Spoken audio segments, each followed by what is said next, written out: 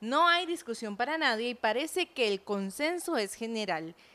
El justo galardonado y campeón es la Asociación Deportiva San Carlos. Para periodistas deportivos, los norteños hicieron una gran temporada y fueron los más constantes.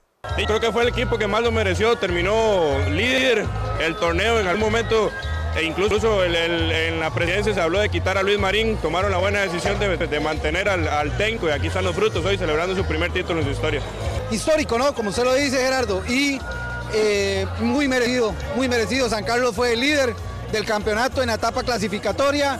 Eh, sacó a Herediano, que era el campeón nacional, sacó a Zaprisa, otro de los favoritos.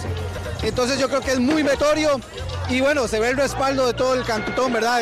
De, toda la zona, aquí reunidos, festejando, me parece que es muy, muy, muy meritorio para, para el conjunto sancarleño.